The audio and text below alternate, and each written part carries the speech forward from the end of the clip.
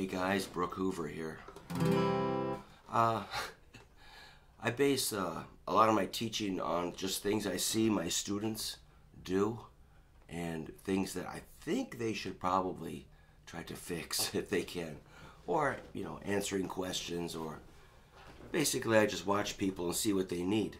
Okay, I have uh, a couple of things I want to kind of fix. Um, on the A minor and E major chords, sometimes people will reverse the middle and ring. Here's how A minor should look, I think. And people will, will reverse the middle in ring. See that? That's just a mess. That's just making it messy and potentially uh, bad thing. I'm open-minded. I realize it can work, but just let's not make it more complicated and difficult than it has to be. so, middle ring index on A minor, not ring middle index. Same with E major. Oops. Don't flip these two. Don't reverse them, just middle ring index. And notice how they're the same shape. That's going to make everything easier because you're going to go maybe to E7 or E minor.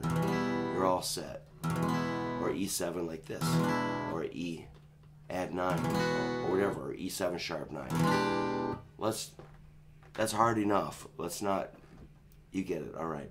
Um, how about uh, a G chord? A lot of the books will show a G like this, or like this. Those work just fine. But I think this is better to go index, middle, ring, pinky ring and pinky side by side on the third fret on the first two strings. It the the advantage of the way I'm telling you, it sounds a little more. Uh, I just say it cuts through the air a little better. This is a little flabby. This rocks a little harder. Plus, you can do a G5 like this. If you mute the A string, pick up your index, let your middle finger touch the A string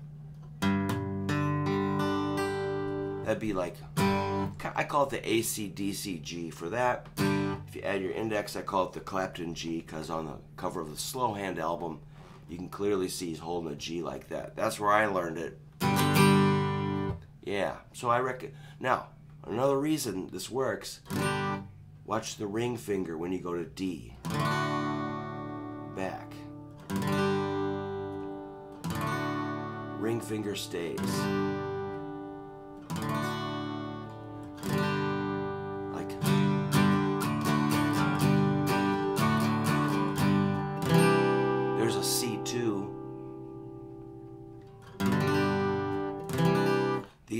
Two fingers stay in place. It'll save you save you some time. That's all I'm trying to do. Another thing, be careful. Don't clobber extra strings. Let's say you're playing the D chord. Don't hit all six like this. That sounds like garbage. Hit four strings.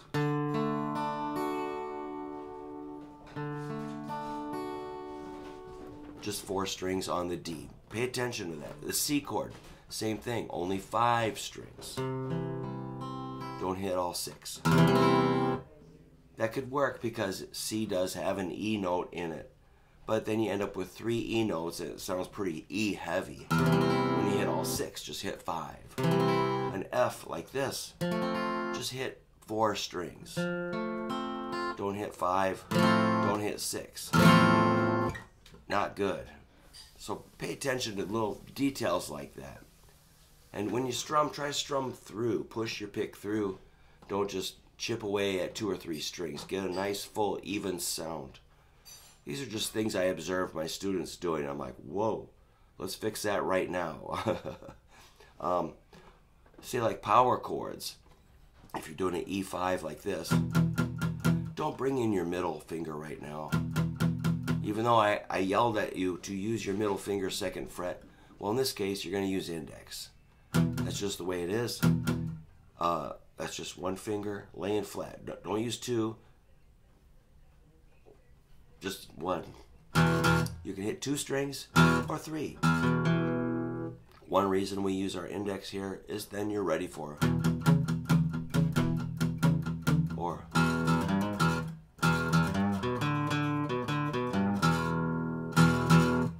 yeah, generally, you know, realize we're going to have four fingers covering four frets for riffs and stuff. So fingering's pretty tricky, man. But if if your fingering is not efficient, you're gonna have a lot of trouble. Guitar is difficult enough already, so get those four fingers lined up to cover four frets. Sometimes there'll be five frets. See that? Pinky goes a little higher, or six. Index might go down. Just be ready to use four fingers efficiently. Don't um, don't mix them up. Don't tie your fingers into a knot. And uh, one good thing to do is like you know scales or something like. Um,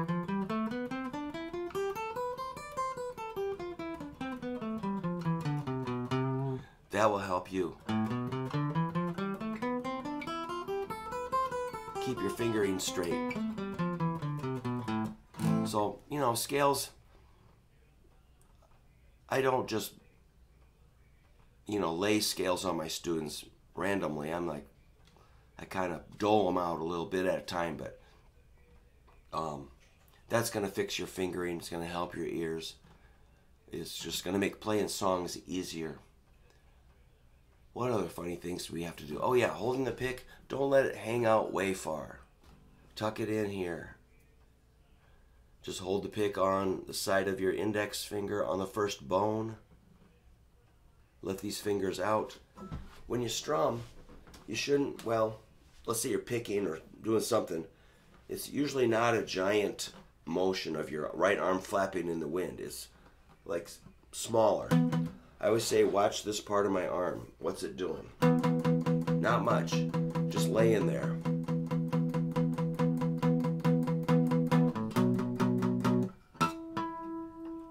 I could have tuned.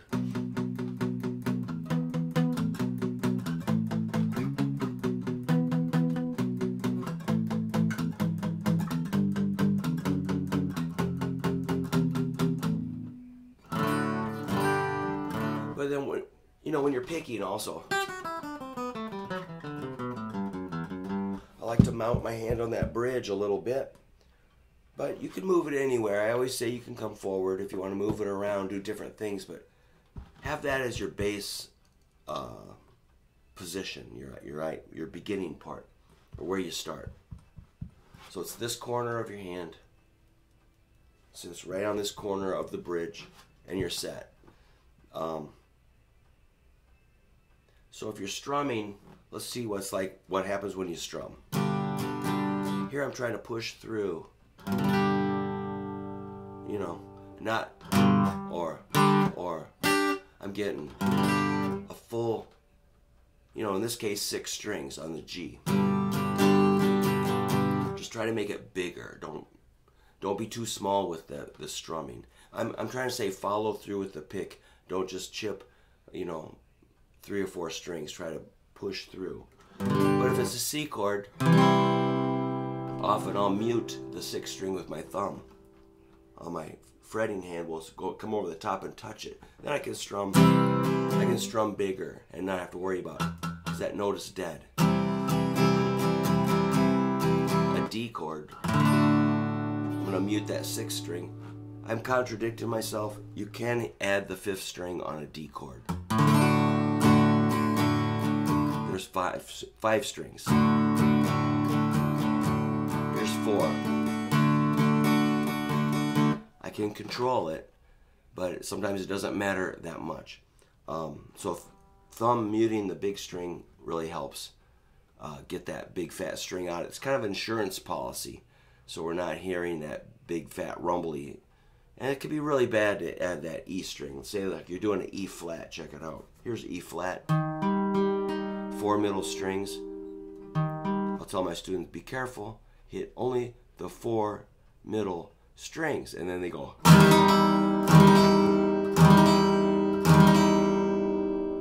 That's pretty frightening, isn't it? So that's where I learn, that's where I get my information, watching students and, uh, you know, trying to fix some things that they might have learned.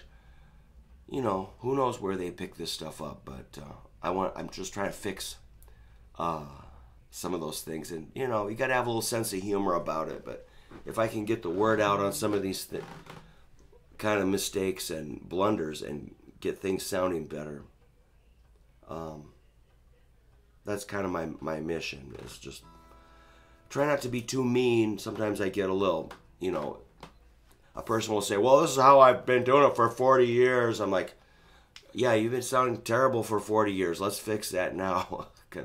let's let's not do another year of that. You know, let's fix it. I get a little.